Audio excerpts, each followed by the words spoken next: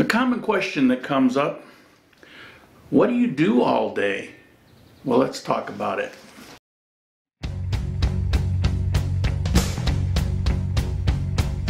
Here's your story, let's begin. The water's fine, come on, dive in.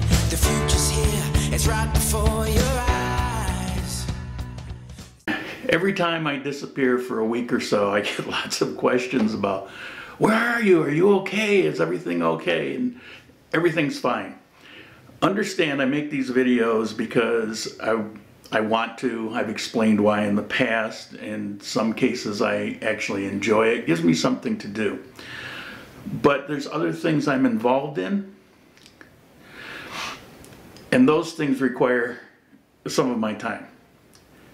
And that can put the videos sometimes on the back burner.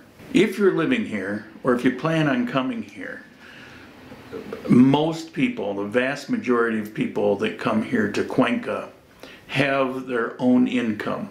So they don't really have to worry about things. So they get here and they're almost like on, on vacation. You know, they get to travel a lot and go out and eat and, you know, just kind of kick back and enjoy life, which is great. It's wonderful if you work to get to that place, whether you're retired or you're 30 years old. There's people here that have worked to get to that place, work online, um, and it's great.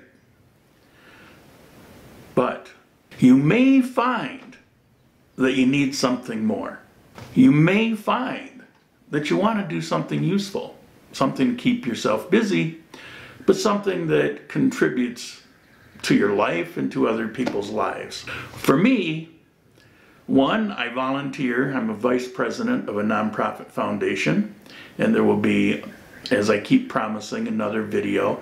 And let me quickly explain why that hasn't gone full bore. It is, it just isn't with the gringo reach out. And the reason for that is there's no bank yet. And I don't know what the complication is. That's not part of my part. I'm not the treasurer. I just keep asking, please let me know when you have the banking established. And as soon as there is that established, I'll pour all the information out to you. So there's that. The second thing I'm involved in is a website that I created called cuenca-relocate.com. And the purpose of it was uh, through constant questions over the last couple years from you, video watchers. How do I find somebody that I can trust that will help me get a visa? How can I find somebody that I can trust that will move my items for me, clean my house, uh, give me tours of places? How can I find that without running into gringo vultures if somebody's going to take advantage? How do I find trustworthy people? And having gone through all that and having almost the entire range of my friends are locals, and so I know a lot of people, um, I decided to create this website to help with that and also help with people that I knew firsthand that were good quality people that were very honest and help them find work because while there's talk about the economy's you know so great in Cuenca, it really isn't. There's a huge unemployment problem and unemployed or underemployed. And so the website I created for that and it's had mixed reviews. I've found a lot of work for a number of people but it was really limited to only people that I had used for certain things. And the last thing that I do is, of course, these videos. So those three things keep me quite busy, and sometimes it's a balancing act. Now, I've talked in the videos in the past, not so long ago, particularly when I crossed the border, all this influx of Venezuelan people. Basically, they're refugees. They're running from oppression. So with these videos, I've made it aware that this there's this big influx of people coming from Venezuela. And in, in almost all cases, they're coming with little to nothing. They're coming with what they can carry. Even people that had money no longer have money because the value of their the money in Venezuela is just in the toilet. And so they're escaping death and disease and illness and oppressive government. It, it, and in many cases, there's family left behind because they can only get, parents are pushing their children out to safety. And in many cases, the parents are insisting that they stay. It's really just a parental selfless act. So this massive influx is causing some problems, obviously. You have a huge group of Venezuelans numbering in the thousands and thousands in Cuenca alone that come here with a lot of training, a lot of education, and no work and no money. Also, as they do find certain jobs, they're displacing local people because out of desperation, instead of making $4 an hour, they're willing to work for $2 an hour or a dollar an hour. They're, they're willing to do anything to eat, to survive, to be able to stay and rebuild their life or to bring family members. Something is better than nothing. And so it's obvious what that, that's going to do to the local population. Now they can get mad at each other and you know locals can be upset with Venezuelans because they're coming here and stealing jobs and Venezuelans are desperate and they can get bitter because people don't understand what they're going through. It's not that they're bad people, it's just desperation. They feel rightfully so they have a right to live also. So it, it's really an ugly situation. It's handled with a certain amount of grace, I will say, but those feelings exist. So I'm making this video as a call to action. This may be a complete waste of my time, but meeting and knowing so many people in these situations, I just feel compelled to at least try to help. And I'm going to ask you to help. And if I get help from you, then I will continue and try to expand this. I want to expand the service of Cuenca-relocate.com. Rather than just the handful of people that I know, I want to expand it to people in these situations. People that have been displaced locally or some Venezuelans that are in a tough situation.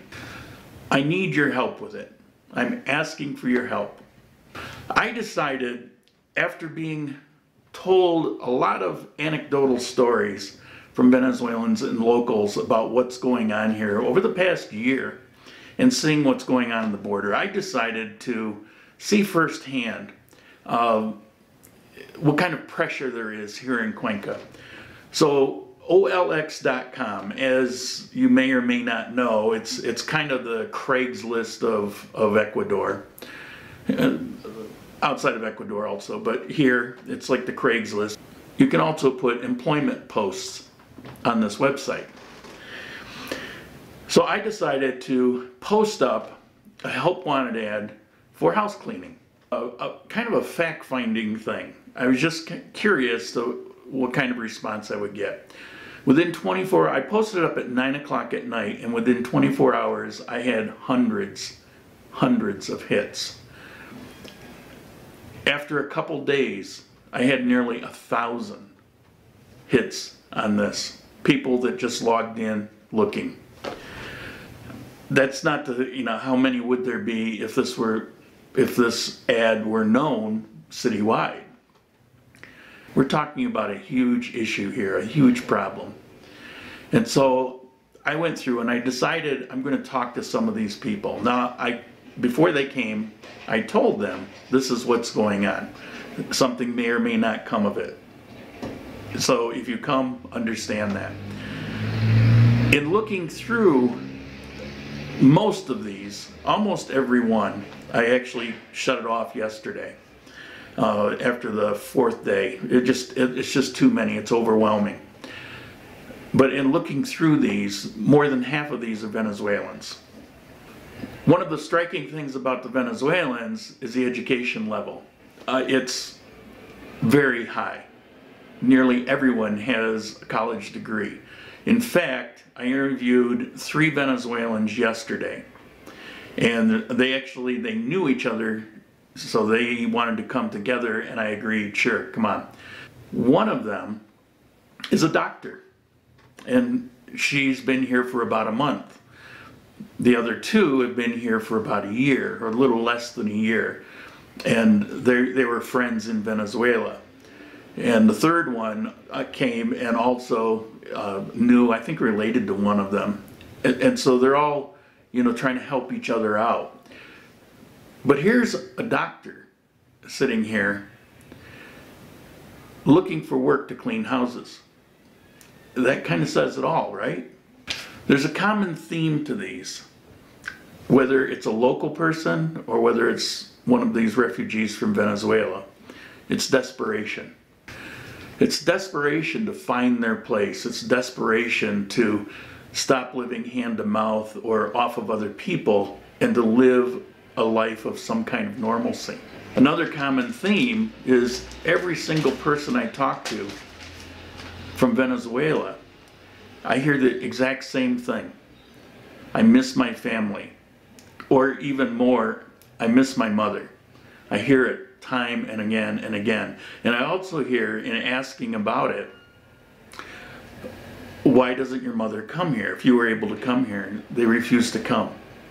They refuse to come because they have hope it'll get better.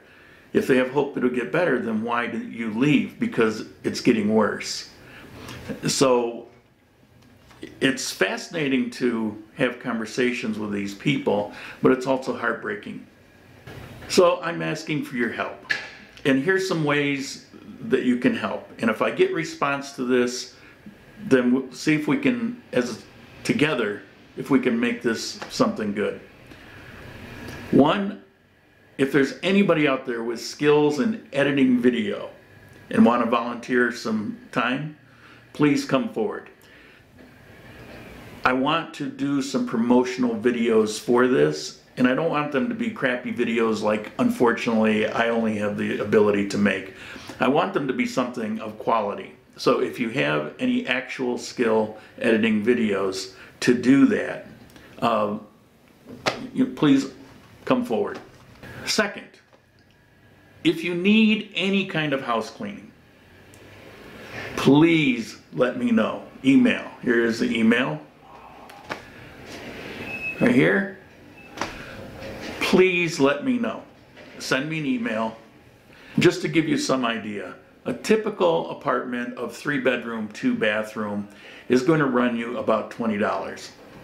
Now I ask everyone that I've talked to, take a look at my house. It's three floors, it's four bedrooms, it's three bathrooms, two patios. It's a large place. And I'm told that of course they would have to see a place but it would essentially be somewhere around $25, $30. So the range of cleaning is going to be probably around 20 or 30. Now, it has also been recommended instead of you having to sit at your house for four or five hours and uh, provide a lunch and the things that go with that, which is not necessarily a bad thing, but maybe maybe you don't want to do that every week or a couple times a week. Maybe you want to go somewhere that sending a group of two or three people to do a four or five hour job in an hour and a half or two hours is completely viable to do. And everyone I talk to is more than willing to be part of that.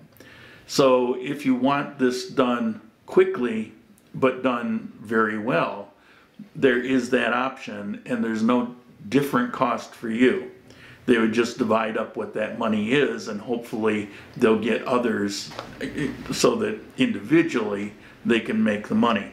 But they're willing to do this because they just need some money.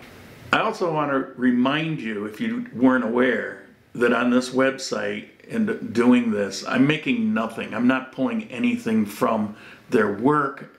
It's I'm just donating my time. Number three,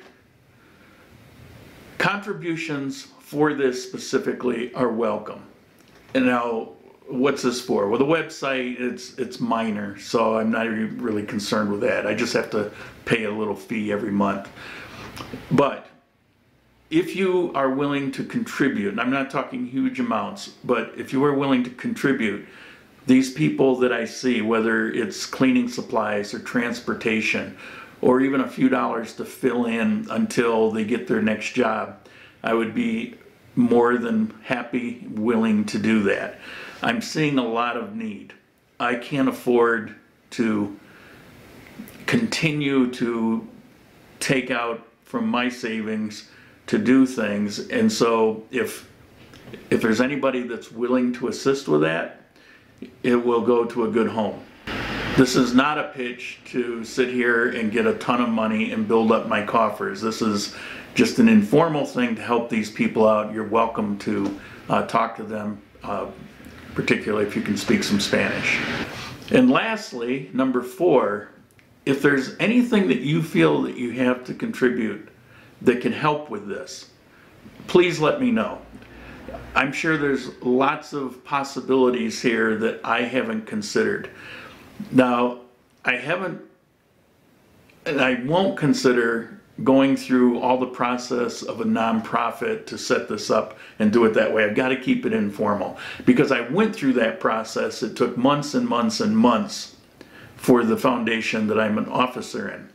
And um, it is just not something that I want to do again. It's very uh, complicated, so I need to keep this. It, and it also doesn't require the scale that that foundation requires uh, for street kids. So this is something that it's really localized person to person to person in these situations. And if anybody wants to assist with that, if anybody has any skills or ideas, please feel free to email. Again, here's the email. Um, a way I can get a hold of you and what what thoughts you have. So just to summarize, I'm busy all the time. If you don't see videos, maybe it's because I had pneumonia, but I'm not, I'm, I'm really rarely sick and it's generally not due to that. It's because I'm, frankly, I'm doing other things and it's uh, not something that I have shared in the past really. I don't really tell you about it. But I'm telling you about it because, um, as I said, it's heartbreaking to see. If there's anything I can do, I want to try. But it isn't something that I can do alone. And so I'm making this video as a call to action if you can help in any way. Um, so that's all I have to say. I will see you soon. You know.